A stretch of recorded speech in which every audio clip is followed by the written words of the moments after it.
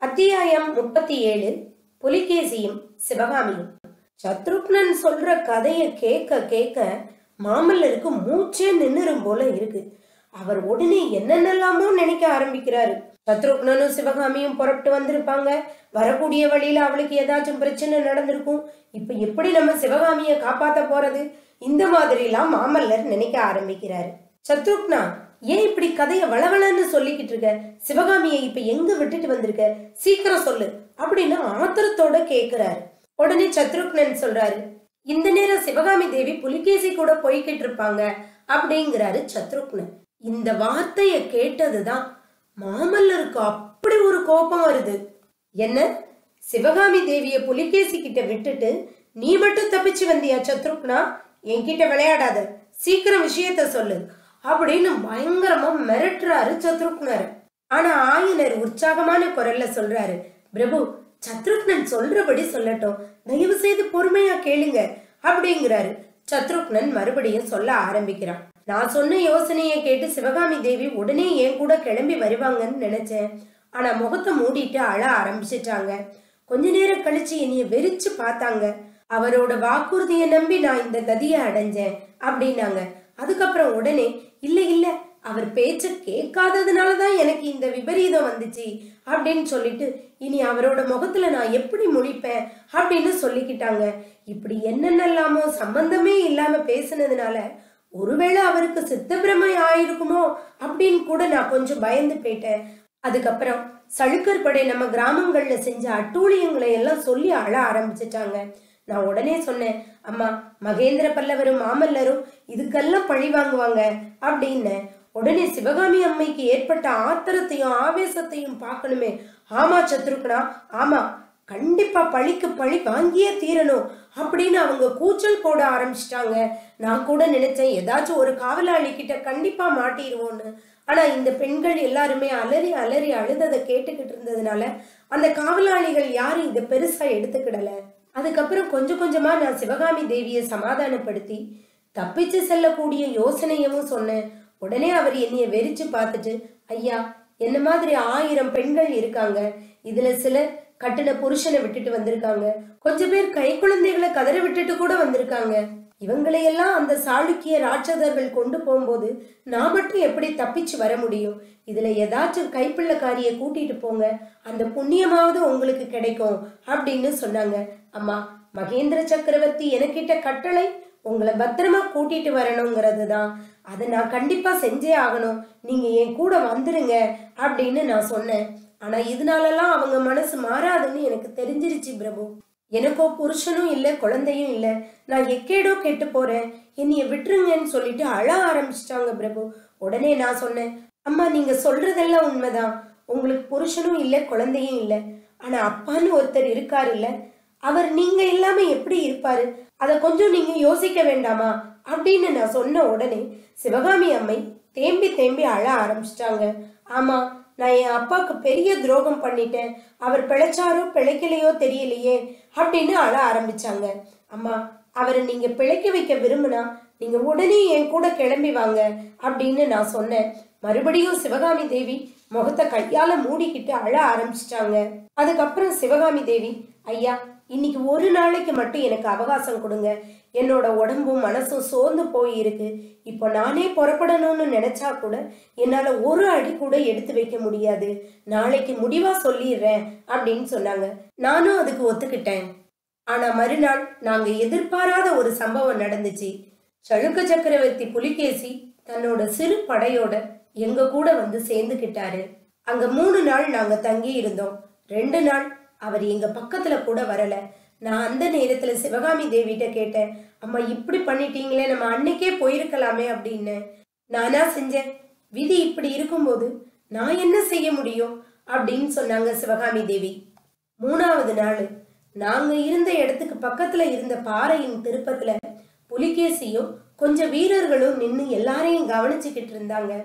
புலிகேசி திரும்ப முயற்சி பண்ணும்போது கண்ணிமைக்க கூடிய நேரத்துல சிவகாமி தேவி புலிகேசியினுடைய குதிரைக்கு முன்னாடி போய் நின்னுக்கிட்டாங்க. சக்கரவர்த்தி ஒரு விண்ணப்பம் அப்படின்னு அலற ஆரம்பிச்சிட்டாங்க. சிவகாமி அம்மையோட அலறலை கேட்ட புலிகேசி பெண்ணே உனக்கு என்ன வேணும்? ஏன் இப்படி சத்தம் போடுறன்னு கேட்டான். மன்னர்களாகிய நீங்கள் உங்களது வீரத்தையும் புகழையும் நிலைநாட்டிக்கிறதுக்காக யுத்தம் செய்றீங்க. அதுல எங்களை ஏன் கஷ்டப்படுத்துறீங்க? இங்கே பாருங்க நீங்க ஆயிரக்கணக்கான பெண்களை பிடிச்சிட்டு வந்திருக்கீங்க. இதுல பாதி பேர் கணவனை விட்டுட்டு வந்திருக்கிறாங்க. கொஞ்சம் பேர் கை குழந்தைய கதற விட்டுட்டு வந்திருக்காங்க.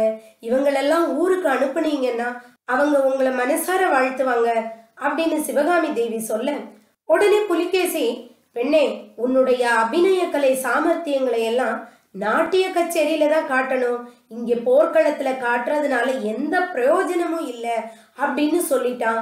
சத்ருக்னன் இந்த மாதிரி சொன்ன உடனே மாமல்லருக்கு ஒரு பெருமூச்சு வருது.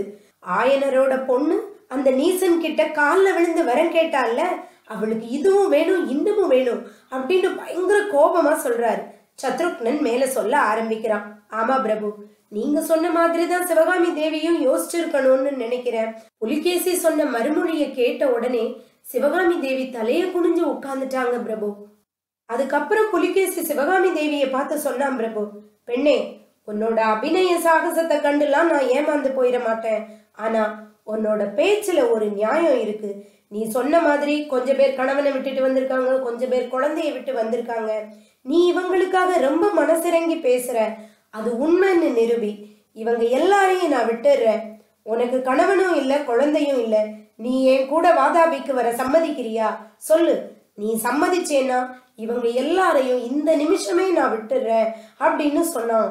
இந்த சொல்ல கேட்ட உடனே அப்படி அவனை கொண்டுடலாமான்னு கூட தோணிச்சு பிரபு அப்படின்னு சத்ருக்னன் சொல்லிக்கிட்டு இருக்கும்போதே மாமல்லர் கேட்கிறாரு இந்த நிபந்தனைக்கு சிவகாமி சம்மதிச்சிட்டாளா அப்படின்னு.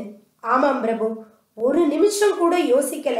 உடனே எழுந்து நின்று சம்மதம் சக்கரவர்த்தி இந்த நிபந்தனையை நான் ஒத்துக்கிறேங்கனாங்க அந்த நேரம் சிவகாமி தேவியோட முகத்தை பார்க்கணுமே. அப்படி ஒரு தெய்வீக கலை குடிகொண்டு இருந்துச்சு ராவணனுக்கு முன்னால் நின்ன சீதையவும் துரியோதனன் சபையில நின்ன பாஞ்சாலியவும் யமனுக்கு முன்னால் வாதாடிய சாவித்திரியவும் பாண்டியனுக்கு முன்னால் நின்ன கண்ணகியவும் அப்படின்னு சத்ருக்னனை அடுக்கிக்கிட்டே போக சத்ருக்னா உன்னோட பரவச வர்ணனைய அப்புறம் சொல்லு. இப்ப என்ன நடந்துச்சுன்னு முதல்ல சொல்லு. அப்படின்னு மாமல்லர் ஏறக்குறைய பொங்க ஆரம்பிச்சிட்டாரு. கொஞ்ச நேரத்துக்குலாம் சக்கரவர்த்தி அவர் சொன்ன மாதிரி எங்களை எல்லாத்தையும் விடுதலை பண்ணிட்டாரு. நான் தான் சிவகாமி தேவி கிட்ட போய் அழுதேன். நீங்க மறுபடியும் சக்கரவர்த்தி கிட்ட பேசுங்க. என்ன மட்டுமாவது உங்க கூட வச்சுக்கோங்கன்னு சொன்னேன். சிவகாமி தேவி ரொம்ப பிடிவாதமா மறுத்துட்டாங்க. யார் போனாலும் போகலன்னாலும் நீ கண்டிப்பா போயே ஆகணும். நீ போய் அப்பா கிட்ட விஷயத்த சொல்லு அப்படின்னு சொல்லிட்டாங்க. எனக்கும் வேற வழி இல்லை. நான் இன்னும் கொஞ்ச நேரம் அங்க உட்கார்ந்து இருந்தா என்னைய கண்டிப்பா கண்டுபிடிச்சிருவாங்கங்கிற சூழ்நிலையில தான் நான் கிளம்பி வந்தேன் பிரபு அப்படிங்கிறாரு சத்ருக்னர். நான் கிளம்பி வரும்போது அப்பா கிட்ட என்ன சொல்லணும்னு கேட்டேன் பிரபு. வாதாபியில நான் சௌக்கியமா இருப்பேன்னு சொல்லு. வாதாபியிலேருந்து திரும்பி வரும்போது அஜந்தா வர்ண ரகசியத்தை தெரிஞ்சுக்கிட்டு வருவேன்னு சொல்லுன்னு சொன்னாங்க. இந்த மாதிரி சத்ருக்னன் சொன்னதுதான் ஆயனருக்கு ஒரே சந்தோஷம். பாத்தீங்களா பல்லவகுமாரா?